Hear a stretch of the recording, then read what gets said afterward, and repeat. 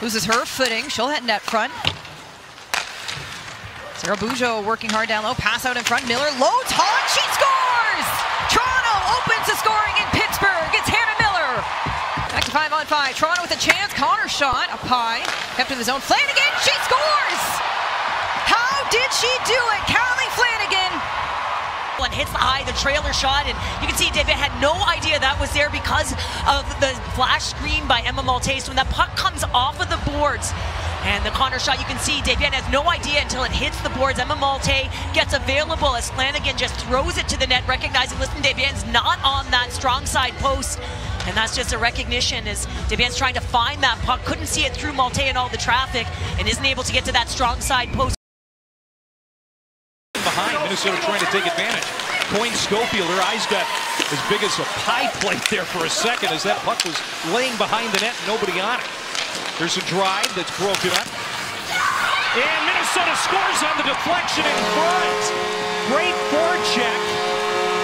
Julie Friend working ringside. Glad to have you along here. As Minnesota takes a 1-0 lead, Michela Cava with a blistering wrist shot. Minnesota, the 1 0 lead.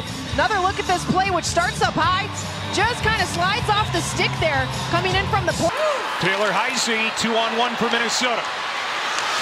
Shot and score!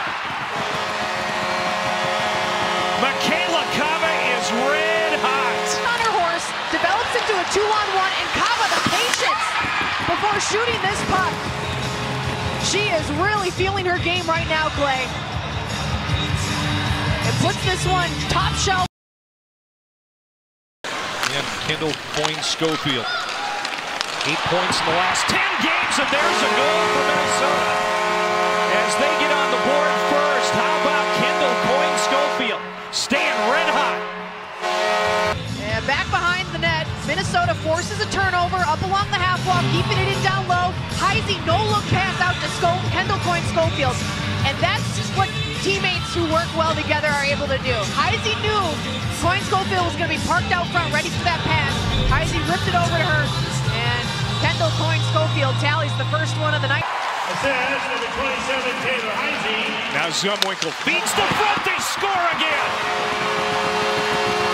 And it's Coyne Schofield, who continues her track record as of late picking up her sixth goal of the season. A little backhand feed through the slot by Grace Zumwinkle. Great eyes by Zumwinkle to see Coyne Schofield coming in on the back door there.